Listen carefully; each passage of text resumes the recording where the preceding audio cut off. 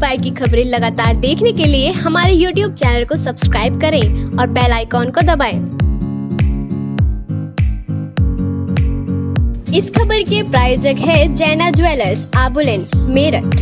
नमस्कार, मैं हूँ रवि शर्मा और आप देख रहे हैं फ़र्स्ट बाइट डॉट टीवी पिछले कुछ अंतराल में अधिवक्ताओं पर हो रहे हमले, व हत्याओं को यूपी बार काउंसिल ने बेहद गंभीरता से लिया है। काउंसिल ने साफ़ कहा है कि यदि इन घटनाओं पर समय रहते अंकुश नहीं लगा तो न्यायिक प्रक्रिया ठप करने के लिए उन्हें बाध्य होना पड़ेगा। मेरठ में तीन दिन पहले हुए अधिवक्ता मुकेश शर्मा हत्याकांड पर मेरठ व जिला बार एसोसिएशन ने आज आम सभा बुलाई है। इस बैठक में अधिवक्ताओं का यह मानना था कि पुलिस प्रशासन अपराधियों को बराबर सुरक्षा प्रदान कर रहा है, जबकि अधिवक्ताओं को मांगने पर भी सुरक्षा नहीं दी जा रही है। मुकेश शर्मा को अपनी हत्या का बराबर अंदेशा था और वह सुरक्षा की लगातार मांग भी करते आ रहे थे, लेकिन उन्हें सुरक्षा नहीं दी गई।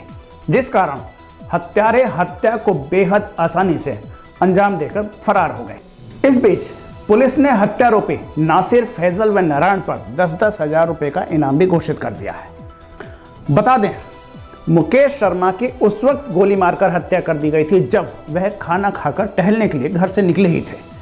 पुलिस ने 24 घंटे में नामजद लोगों को गिरफ़्तार कर इस हत्याकांड का खुलासा कर दिया था।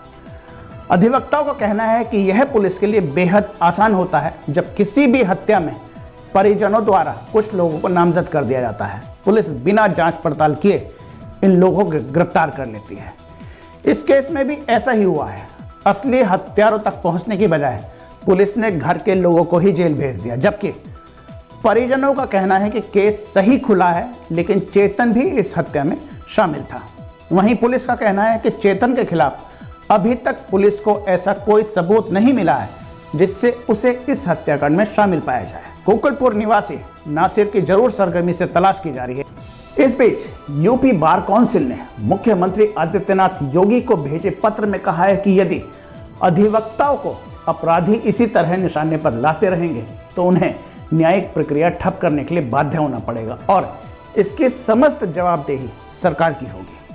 काउंसिल अध्यक्ष हरिशंकर सिंह ने कहा है कि पिछले छह माह में जितने भी अधिवक्ता मारे गए हैं, उनके परिजनों को 25-25 लाख रुपए आर्थिक मदद व परिजन को सरकारी नौकरी दी जाए। इस बीच, आज मेरठ और जिला बार एसोसिएशन की आम सभा में मुकेश शर्मा हत्याकांड पर रोष जताया गया। अधिवक्ताओं ने एक सुर में कहा कि यदि अधिवक्ताओं पर आए दिन हो रहे हमले व हत्या जैसी संगीन घटनाओं पर प्रशासन रोक नहीं लगा पाया तो उन्हें हड़ताल जैसे गंभीर कदम उठाने के लिए विवश होना पड़ेगा। आम सभा में अधिवक्ता मुकेश शर्मा के परिजनों को आर्थिक मदद व परिवार के किसी सदस्य को सरकारी नौकरी दिलाने की मांग कर रहे थे। उत्तर प्रदेश के तीन मिले हुए ज़िले, बागपत, मेरठ और मुजफ्फरनगर में तीन अधिवक्ताओं की निर्मम हत्या की गई है। अधिवक्ता समाज अपने आप को ऐसा सुरक्षित कर रहा है ऐसा एवं असुरक्षित महसूस कर रहा है। एक तो हम ये शासन से ही मांग करेंगे कि अधिवक्ताओं की सुरक्षा की जाए। प्रशासन से भी, शासन से भी। एक हम ये भी मांग आज करेंगे कि जो अधिवक्ता का परिवार है, उसको अनुदान के रूप में 50 लाख की धनराशि उसके परिवार को दी जाए। उसके परिवार को एक व्यक्ति को नौकरी दी जाए। चूँकि अधिवक्ता समाज के पास में कोई सरकारी पैसा नहीं होता, उसको पेंशन कोई नहीं मिलती, उसका कोई फंड नहीं होता, उसके बच्चे उसकी हत्या के बाद में सड़क पर आ जाते हैं। तो ये मांग खास तौर से हम ये कर रहे हैं, जितने भी ये तीन पीड़ित परिवार हैं, इनकी सुरक्षा की जाए, जिसको इनको धमकी ना मिले। और एक हमने मांग की है कि सभी मामलों में जो कल्परिट हैं, एक्चुअल में दोषी हैं, उनको भेजा जाए और किसी निर्दोष को उन मामलों में न भेजा जाए। ये हमारा मुख्य मुद्दा आज था जिसमें हम माननीय मुख्यमंत्री जी को जिलाधिकारी महोदय के माध्यम से एक ज्ञापन दे रहे हैं इन्हीं मांगों को लेकर और एक यही ज्ञापन हम एसएसपी साहब को भी दे रहे हैं। इस बीच वरिष्ठ पुलिस अधीक्षक साहनी ने बताया है कि पुलिस ने इस हत्याकांड को बेहद गंभीरता से लिया है। ये अधिवक्ता मुकेश थे जिनकी हत्या शाम के समय गोली मारकर हुई थी।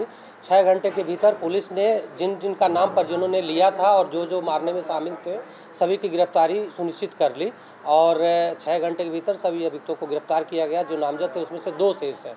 जो दो शेष हैं, उनके ऊपर दस दस हज़ार का रिवार्ड किया गया है। जल्द ही उनकी गिरफ्तारी कर ली जाएगी।